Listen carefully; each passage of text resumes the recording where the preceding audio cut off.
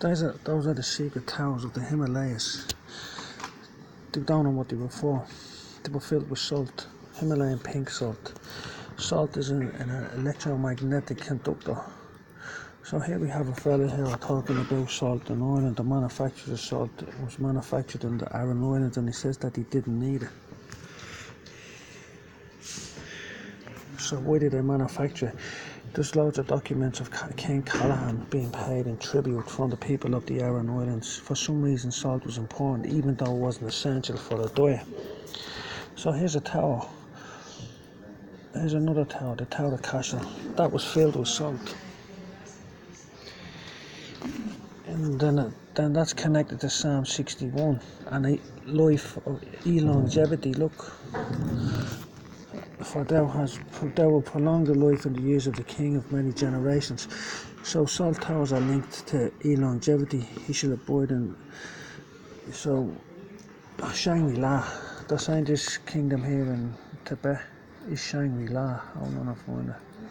What made people live a long time in Shangri-La? Salt. Simple as that. They fill them towers with salt and the salt is an electromagnetic conductor, energy conductor. You won't hear it anywhere else, but if you go onto the internet, there's a bit of a cover up regarding salt. If you go onto the internet and they say, oh, you have clean, pure water, it doesn't conduct electricity, or it has salt in it, it does. Basically, another way of saying that is salt conducts electricity, not the water.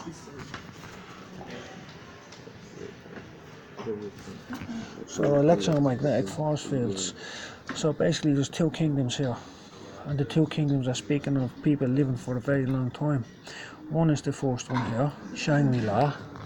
There is down in. There's hundreds of them towers all over the, all over the Himalayas, yeah. Shangri-La it's called. And this fella here the amount of somewhere he says it made him it made him curious that there was so much salt production in Ireland even though they didn't need it. And the Irish soldiers were paid in salt. And King Callaghan was paid tribute from the Aran Islands. There's a settlement on the Aran Islands called the Seven Churches of the Eganot tribe or the Mock tribe. That's my ancestral clan. King Callaghan is King David. Because here we go look. Here's a story in Psalm 61 about that's the rock of Cashel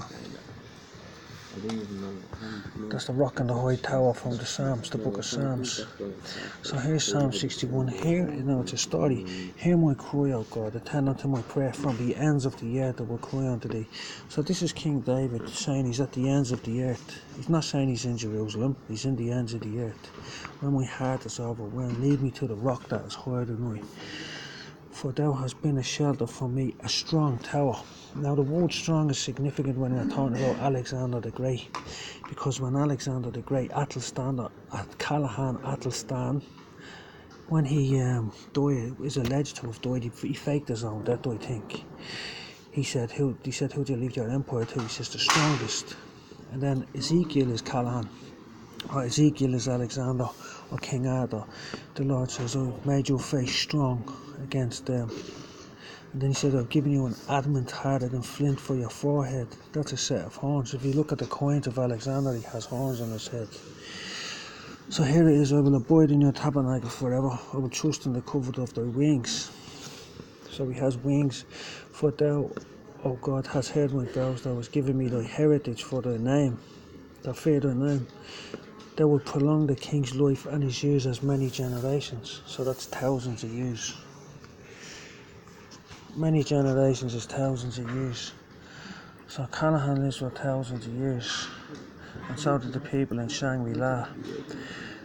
So it's all got to do with salt production. You have Himalayan rock salt. These towers would have been filled with Himalayan rock salt. See, now they're checking these towers, right? And uh, when they were doing the archaeology on they were signing these towers, they were saying that they only they were repaired 50 years ago. But the people in the village says they haven't done any work to them, they haven't went near them. So something's affecting the carbon dating. Carbon 14 degenerates into carbon 12 after a million years. But they've never had a million years for carbon 14 to degenerate. So, how are they, they're dating that the, the piece of wood was only put in there 50 years ago. You can watch the documentary. But the towers are standing there for hundreds of years. They're not able to say where these, how long these um, towers were there. For the simple reason is that is the kingdom of Shangri-La. And that's what's making people live for a long time. Them towers were filled with salt, but they're empty now. So they're all dated to around the same day when they done the, the carbon dating on them. All of a sudden they stopped working on a certain time frame, on a certain year, on a certain scale. It's the same in Ireland. The, the towers are mentioned in the Book of Tea Tephi. The Book of Tea Tephi is an ancient Irish book about a Hebrew queen that came to live in Ireland and married one of my ancestors. Um, she um, went to the island of the Towers. The Towers is the Irish place, yeah? is Ireland. The island of the Towers is Ireland. And the stories of people. See, the reason why the English, the, the Anglo Saxons or the Norman scholars didn't take the Irish people seriously in the writings is because they were claiming to be witnesses to events that happened hundreds of years beforehand. So this means that they were. This is the read, but there's there's never been any corroboration of this story in um, modern teachings. So the academia today is full of shit. Basically, they're filling it full of shit. They haven't got a clue. So the link between there's an ancient technology that existed and it was to do with salt. So basically, to cover all this up, they burnt down the library at Alexandria. It was named after Athelstan Callaghan, and then they invaded Ireland. And then when Patrick got here, he burnt all the books that were here.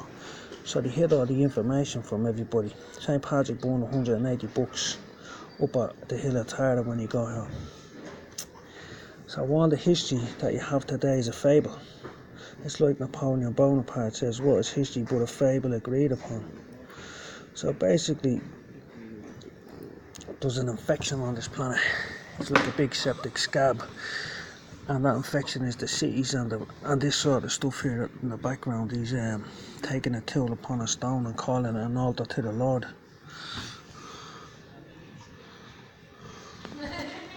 So if you take a tool upon an altar to stone and call it an altar to the Lord, you have polluted it. So all of this work here is pollution. So as civilization proliferated in the Middle East, people started to die younger. The first people lived for a thousand years in the Bible, the generations of Adam. Adam lived for nearly a thousand years.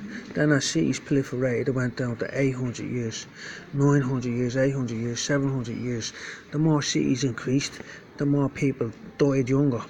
Eventually, till you get to now, where you're cursed with a curse. The Bible says you are cursed with a curse. You will die as an infant at 100 years. How did I get?